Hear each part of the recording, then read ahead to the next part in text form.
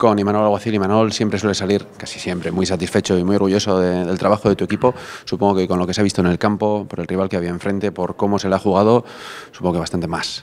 Sí, bueno, es verdad que, son tres puntos como otros cualquiera, pero evidentemente después de, lo de- del partido de Europa League, sumarle este tan seguido contra un equipo de Champions eh, con semejante nivel ante nuestro público, eh, bueno, lo único que, que puedo hacer es felicitar tanto a los jugadores como a los aficionados, porque bueno, todos, todos ellos eh, hemos podido, o entre todos hemos podido disfrutar de esta gran victoria. Ima, prácticamente eh, dominio absoluto del balón, salvo en los minutos finales, que obviamente por el resultado ellos ya se tiran arriba. Habéis concedi- concedido muy, muy poco al Villarreal. Sí, no es fácil porque ellos tienen muchísima calidad en todas sus líneas. Es un equipo que, que sale, que, que sabe salir muy bien de, de la presión alta.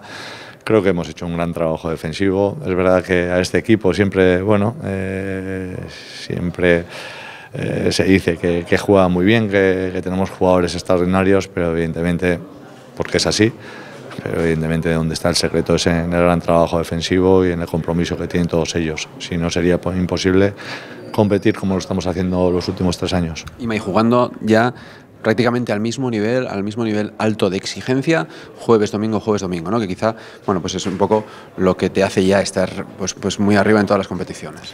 Bueno, eh, pero es que eso casi lo hemos mantenido los, los tres últimos años, entonces tampoco es novedad.